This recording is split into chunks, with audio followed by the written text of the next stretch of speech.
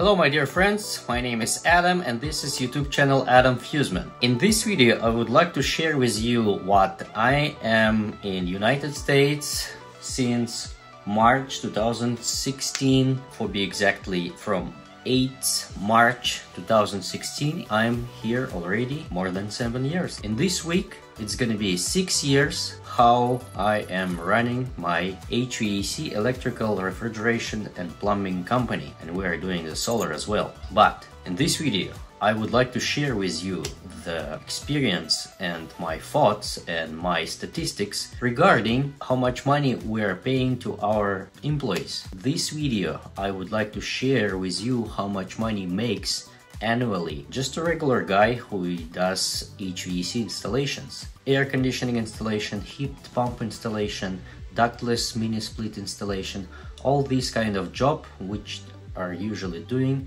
HVAC installers in United States. This is kind of very nice salary in compare with other states. We are paying our installers profit share base. So let's get into it and we will see how much money makes annually HVAC installer.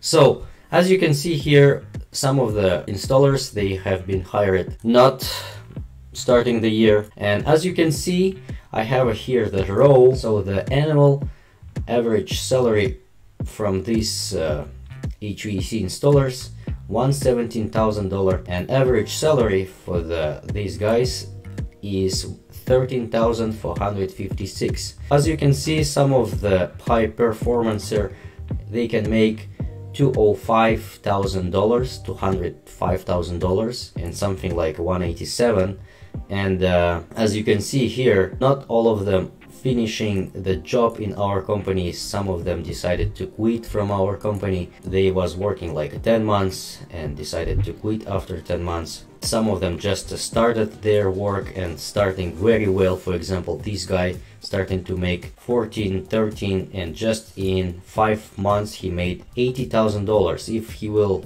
make this amount money like uh, since beginning he gonna make about like $200,000 as well. As you can see here, some of the from the HVAC installers can make $27,000 in high season 25, 14. Some of them make less money. For example, if they just started as a HVAC installer, their first months, it's usually less because it might be not the whole months. They're doing this work like $6,000 $4,000 more, more, more, more, more. Yes, sometimes we have like a slow times, but in average they are doing very great, very good job and we're not saving the people who are not making great job for our company. So everything it all depends on our HVAC installers. So this is the information, the statistics about the salaries for position HVAC installers in our company. And I think this information might be for you useful. And this is a great time to press the like button. And if you are not subscribed for this youtube channel yet this is very great time to do it and learn more information and videos like this. And i'll see you in the next one. Thank you